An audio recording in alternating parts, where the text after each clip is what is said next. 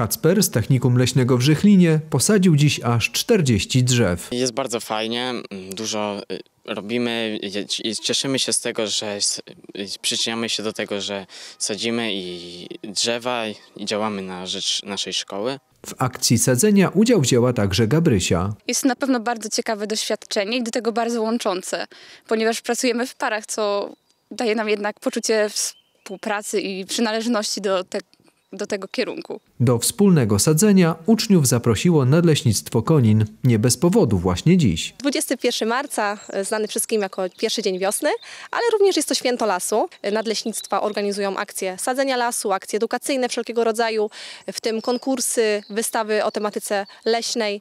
E, W tym roku Nadleśnictwo Konin zorganizowało wspólne sadzenie z e, uczniami technikum w Żychlinie.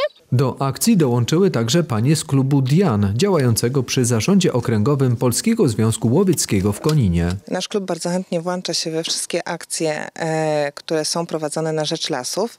E, las to jest e, też środowisko, w którym my działamy. Klub Dian nasz powstał dość, dosyć niedawno i zrzesza kobiety polujące na terenie okręgu konińskiego. W akcji udział wzięło 50 osób. Wspólnymi siłami zasadzili około 3000 drzew.